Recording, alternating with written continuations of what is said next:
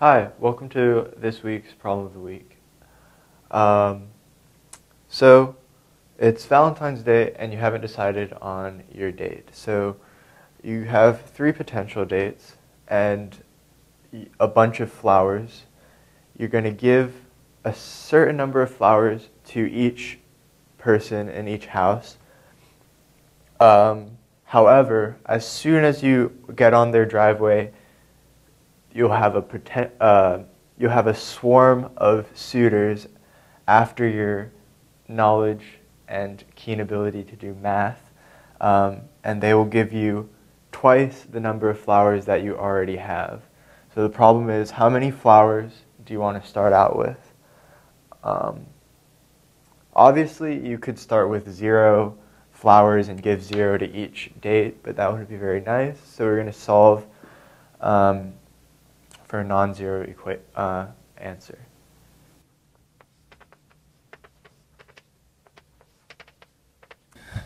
So here I've drawn in the picture um, what's going to happen. So you'll start off with a certain number of flowers, multiply that by 2, subtract some number of flowers to give to your date, times that by 2, subtract n, and repeat once more. So we have two variables, um, but we're only going to have one equation, so that means we're going to have an infinite number of solutions to this equation.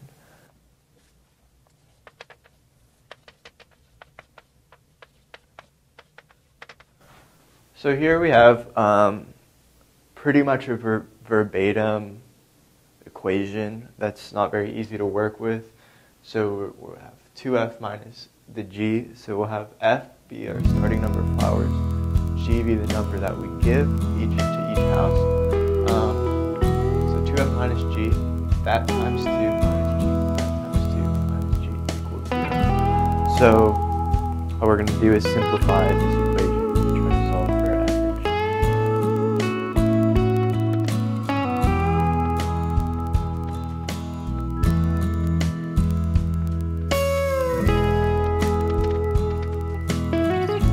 now we have 8f equals 7. So that all that really tells us is that we want 8 times the number of flowers that we start with to be equal to 7 times the number that we give.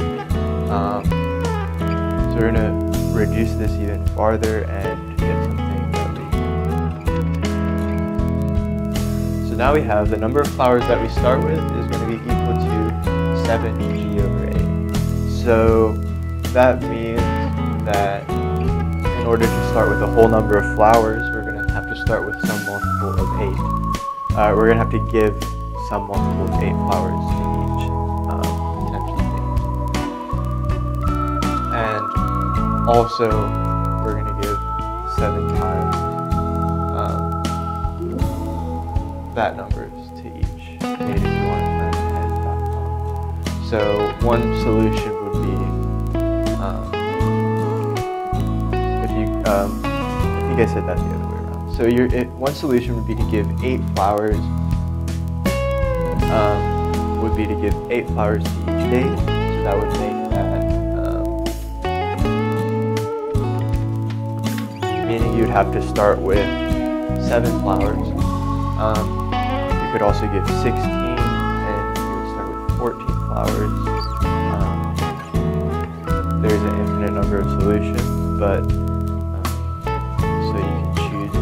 flowers you want to start with based on how many flowers you're going to give to each house. Thank you for watching this week's Problem of the Week. You can visit the centerofmath.org, subscribe to our channel, or watch more Problems of the Week in the links here. Or if you're on a mobile device, you can find an information card at the top right.